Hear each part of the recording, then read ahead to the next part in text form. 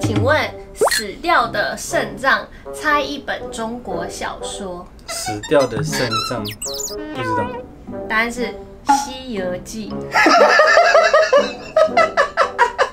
好烂啊！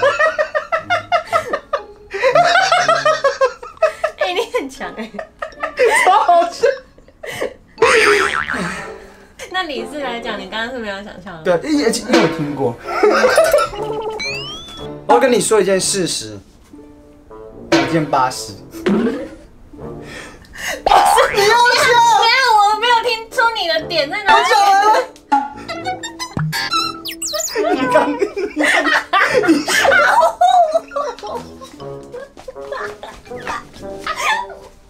你很强哎，好像你够，你很强哎。从前从前有一只公鹿，在路上一直跑，一直跑，越跑越快，越跑越快，越跑越快，它就变成了高速公路。你没笑，你的不是你你这个太老又太烂了，我真的。没笑啊！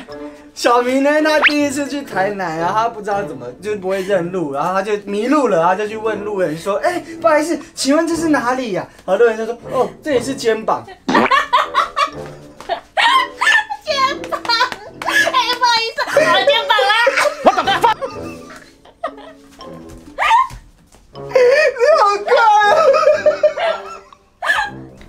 天，川普，嗯他去逛街压马路，他会变成什么？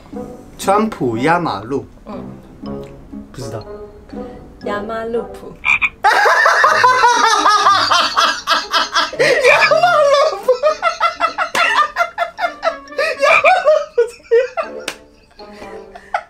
为什么感觉不是很真诚？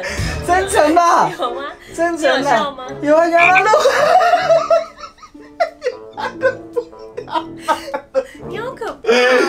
小明因为手受伤就去看医生，然后看完医生之后，医生就跟他说这个手要多休养。然后小明就问医生说：“那医生我我大概多久可以开始弹拉小提琴？”医生就说：“嗯，大概一个月之后就可以拉了，多休养就会好了。”然后小明说：“我根本不会拉小提琴。你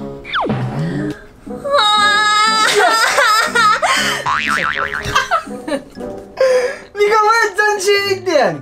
你争气一点。难笑，而且你还讲错，然后你说拉小提琴动作是这样，那医生我我大概多久可以开始弹拉小提琴？哪有人这样子的？就是要难笑，你才能挑战你的表演能力啊！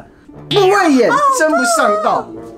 哎，有一天呢，有一根牙签走在路上，然后他就看到一只刺猬，他就说啊，我的公车来了。笑不出来，对不起。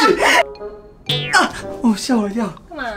呃，还来了。小明呢，在水果摊买了十个苹果，然后给了小华三颗，然后后来又给小美四颗。请问，关你屁事？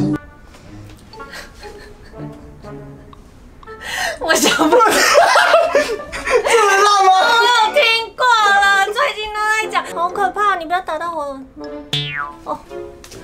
有一只鹅，嗯，它一直飞，一直飞，一直飞，然后它就飞过了一个山洞，它就变成过洞鹅。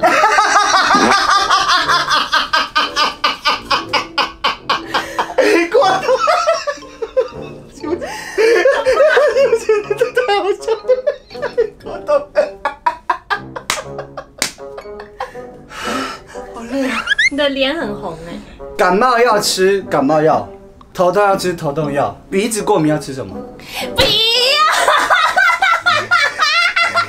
不要不要不要不要！不要不要啦！